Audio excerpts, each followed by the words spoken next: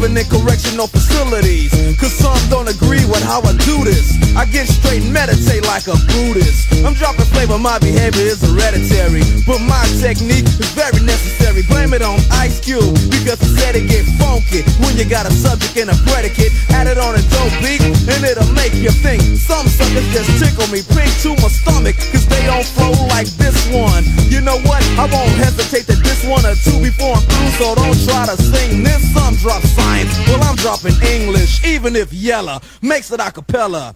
I still express yo, I don't smoke weed or sex, cause it's known to give a brother brain damage, and brain damage.